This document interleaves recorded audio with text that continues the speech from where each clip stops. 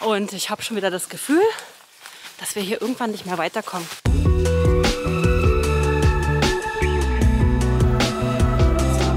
Eigene Ästhetik, oder?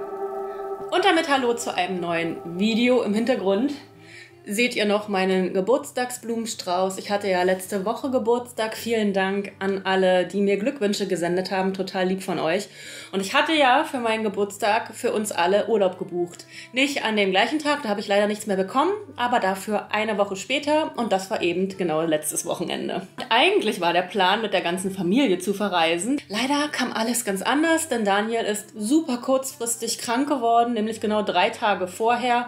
Und dann hatte ich einfach gar keine Möglichkeit mehr, die Reise zu stornieren und habe mich dann dafür entschieden, mit meiner Tochter und Bruno allein dorthin zu fahren. Ich wollte aufgrund meiner drei Monate alten Tochter nicht allzu weit verreisen, deswegen sind wir hier im wunderschönen Harz geblieben. Und ich habe vor genau drei Jahren mit Bruno dort schon mal einen kleinen Urlaub verbracht und ähm, diesen Bungalow in der Nähe von Blankenburg hatte ich jetzt nochmal für drei Nächte gebucht. Das war natürlich super spannend für mich. Also zum einen alleine mit Baby und Hund zu verreisen. Dann wollte ich wandern gehen. Mal schauen, wie das wird. Und sie war eben auch in einer fremden Umgebung. Aber ich muss euch sagen, ah, ihr wisst es, ne? unsere Tochter ist super. Es hat mal wieder ganz, ganz toll geklappt. Wir haben schöne Nachmittage und Abende verbracht. Wir waren sogar einmal bummeln mit der Trage. Das war auch richtig cool. Und ansonsten waren wir viel spazieren, denn zum Wandern, zum richtigen Wandern ist es leider nicht gekommen. Zwei Wanderversuche habe ich aber gestartet und hier an Tag 1 sah das Ganze auch noch recht idyllisch aus, oder? Dem wurde schnell ein jähes Ende bereitet.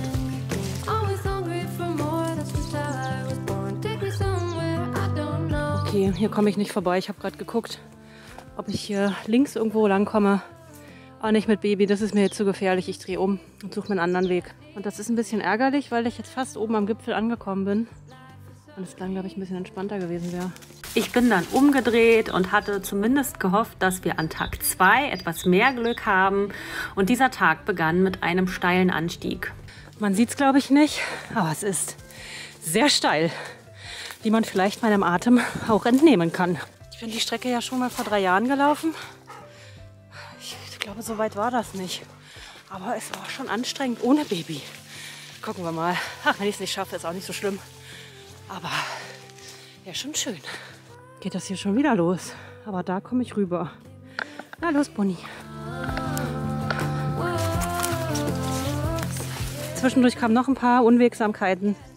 Das setzt dem hier noch die Krone auf. Ey, es ist ein offizieller Wanderweg hier. Ich will es nur gesagt haben. Ja. Auf allen Vieren bin ich jetzt da durchgekrochen. Und ich habe schon wieder das Gefühl, dass wir hier irgendwann nicht mehr weiterkommen. Aber so wie es aussieht, sind wir schon oben am Gipfel angekommen. Das war ja simpel. Ah. Ah. Äh. Mm. Jetzt sind die Wege auch noch kaputt gefahren. Man kann sich gar nicht entscheiden, ob man lieber hier läuft, in der Fahrspur oder in der Mitte. Ist beides unangenehm. Ja, der Borkenkäfer, der Sturm der letzten Wochen und Fellarbeiten haben der Umgebung leider sehr zugesetzt. Und ja, so ist nicht so richtig Wanderlaune aufgekommen und ich bin wieder zurückgelaufen. Und dann habe ich mich noch dazu entschieden, einen Tag früher zu fahren, denn eigentlich wäre Checkout am Montag um 10 Uhr gewesen. Das war mir mit Baby aber einfach nichts, weil das manchmal einfach ein bisschen länger dauert und man das nicht so richtig einschätzen kann. Und ähm, deswegen habe ich mich einfach abends ready gemacht und wir waren dann um 8 hier wieder zu Hause. Ja, und auch wenn dieser Kurztrip jetzt nicht so super erholsam für mich war, denn ich glaube, mit Kind und Hund wird das einfach nichts mehr, oder? Da ist Urlaub erstmal nicht wirklich ein Urlaub, aber egal, Hauptsache, die Kinder sind glücklich, war es trotzdem eine super coole Erfahrung und hat mir nochmal mehr Sicherheit und Routine gegeben, dass ich weiß, egal was wir angehen, das klappt schon, wir kriegen das schon gewuppt und wir sind jetzt mittlerweile ein ganz gutes Team geworden, denke ich mal. Dann habt ihr in ein paar Aufnahmen vielleicht schon gesehen, dass ich endlich wieder Jeans tragen kann. Ich zeige euch mal meine neuen Lieblings Lieblingsteile. Und zwar sind das diese hier und die sind alle von Armed Angels. Und ja, ich habe auch einen Rabattcode für euch. Mit dem Code Icarus-15 spart ihr 15% auf die ganze Kollektion. Und dieses Video ist Teil der Detox Denim Kampagne von Armed Angels. Und hier geht es darum, dass Jeans unter innovativen Verfahren hergestellt werden. Denn wusstet ihr, dass normalerweise die Herstellung so einer Jeans mit das schmutzigste Verfahren in der ohnehin schon super schmutzigen Modeindustrie ist? Und ich hatte dafür, es gab habe ich schon ein paar Jahre her mal eine Doku gesehen und war total schockiert, was hier Menschen und Umwelt angetan wird. Und mit Detox Denim setzt Armed Angels auf schonende Verfahren und verabschiedet sich von Giftstoffen, Chlor, Pestiziden und sonstigen unnötigen Chemikalien. Und für mich als frisch gebackene Mama, die ihr Baby eben 24-7 an sich trägt, ist die Schadstofffreiheit meiner Kleidung natürlich enorm wichtig und umso mehr freue ich mich über meine neue Mom Jeans. Und falls sie euch auch gefällt, das Modell heißt Maira. Und vielleicht kennt ihr das von neuen Jeans, dass man sie fünfmal waschen muss, bevor man sie anzieht, weil sie so unangenehm riechen. Das hatte ich bei der Jeans von Amt Angels überhaupt nicht. Und dazu habe ich diesen Oversized Pullover aus Bio-Baumwolle kombiniert. Sehr, sehr bequem, sehr soft und weich. Und der heißt Nuriella. In der Videobeschreibung habe ich euch den Shop als auch die einzelnen Produkte nochmal verlinkt. Und vergesst unbedingt nicht den Code ICARUS15. Viel Spaß beim Shoppen. Der nächste Tag. Ich war gestern noch sehr fleißig und habe Bestellungen abgearbeitet durch viel Arbeit nebenher und auch den Urlaub ist das so ein bisschen liegen geblieben. Da hat sich ein bisschen getürmt. Das habe ich gestern aber gut abgearbeitet, sodass der Shop fast auf grün ist.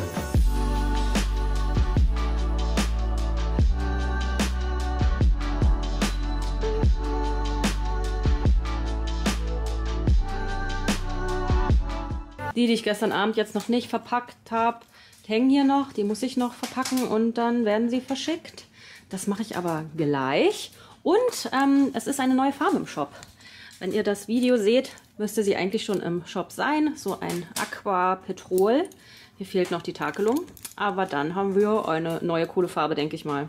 Aber bevor es losgeht, muss ich erstmal meinem neuen Laster nachgehen. Denn schaut mal, was angekommen ist. Mein neues Geschirr und auch die Tassen sind da. Und da mache ich mir jetzt erstmal einen Tee. Und zwar den gesündesten, den man sich vorstellen kann. Ich hatte so mega Lust auf diesen Tee. Den habe ich früher als Kind immer getrunken. Und kennt ihr das, wenn ihr irgendwas kauft, was ihr früher total toll fandet und das heute nicht mehr schmeckt und man sich fragt, na, haben die da in der Rezeptur nicht rumgedreht? Bei Capri-Sonne ging mir das letztens nämlich so. Die schmeckt nämlich total gesund und überhaupt nicht süß. Und bei dem wird man aber nicht enttäuscht. Der schmeckt wirklich eins zu eins wie früher. Sehr süß, sehr lecker. Ihr könnt mir ja gerne mal schreiben, ob ihr das früher auch Krümeltee oder Würmchentee genannt habt. Eine hatte mir bei Instagram auch geschrieben, die haben das früher Fischfuttertee genannt. Ja, hat auf jeden Fall Ähnlichkeit damit. So, da kommen jetzt natürlich opulent sechs Löffel jetzt da in die Tasse rein. Also gehäufte Löffel, ist klar, ne? Ach, eine große Tasse. Sieben.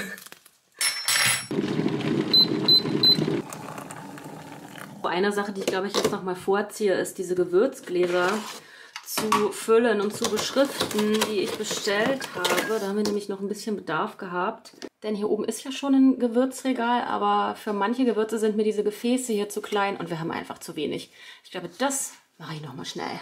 Und zum Beschriften habe ich mir schon vor Ewigkeiten so ein Etikettiergerät bestellt.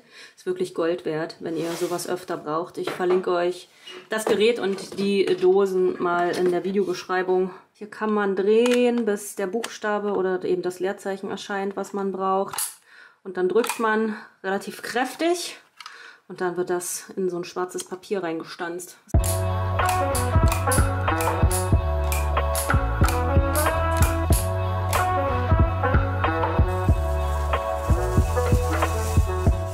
Gerade Oregano, Thymian und Majoran benutzen wir sehr, sehr viel und sehr cool. So eine 15 Gramm Packung passt genau in so ein Gläschen rein.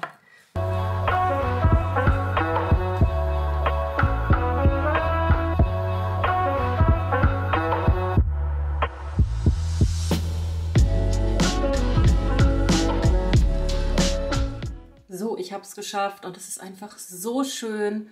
Ich finde, Gewürze haben schon ihre eigene Ästhetik, oder? Und vor allen Dingen in so Gläsern machen sie nochmal richtig was her. So sehe ich auch sofort, was ich wieder nachkaufen muss.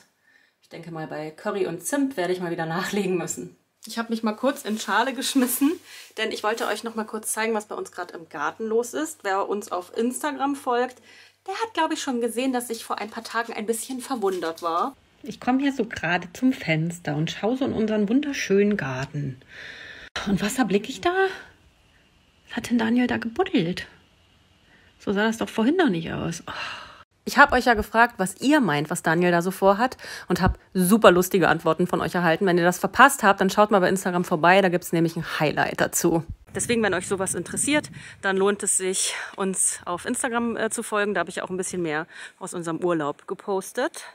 Und jetzt gibt es natürlich noch die Auflösung, was Daniel hier vorhat. Erstmal hat er natürlich dieses Loch zugemacht. Sehr cool. Es ging jetzt ja richtig flott. Ich hätte gar nicht gedacht, dass du so viel Material findest. Und ähm, das, was er dort angefangen hat, das wird ein neues Beet. Und zwar sind, und Daniel hat jetzt vor, zumindest das Pampasgras rauszuholen und den Wasserdost, der steht hier in einer Reihe, dass man hier im Garten endlich mal ein paar Sichtachsen hinmacht. Dadurch, dass wir jetzt alles gefällt und weggemacht haben, sieht es äh, nicht mehr ganz so schön aus.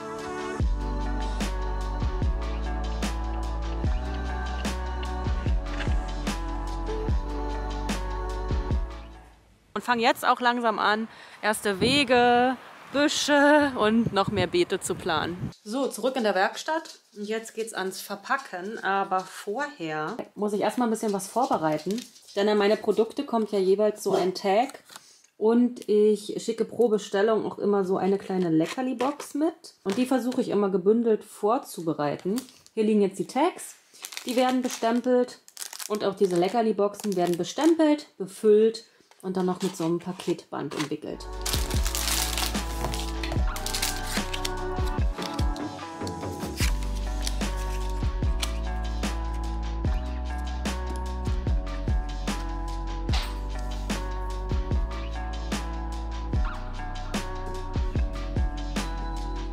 Dann habe ich wieder einen schönen Stapel und die kommen jetzt hier in meine Verpackungsbox. Und die lasse ich gleich mal hier stehen, weil die brauche ich ja gleich noch. Dann geht es jetzt mit diesen Boxen weiter und die sollen ja dann am Ende so aussehen.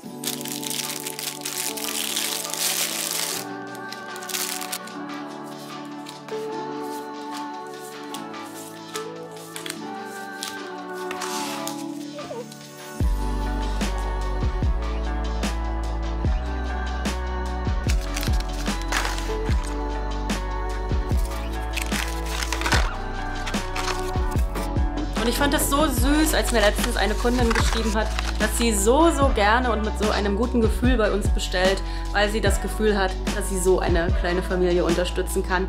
Und genauso ist es ja auch.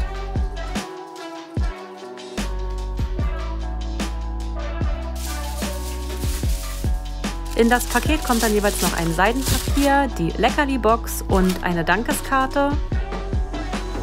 Absender, Empfänger und Frankieren. Und so gehen sie dann morgen auf Reise zu euch. Hier zappelt es gerade ein bisschen, darum werde ich mich mal kümmern. War heute wieder ein super guter Tag mit ihr. Und damit verabschiede ich mich. Bis zum nächsten Video. Macht's gut. Tschüss.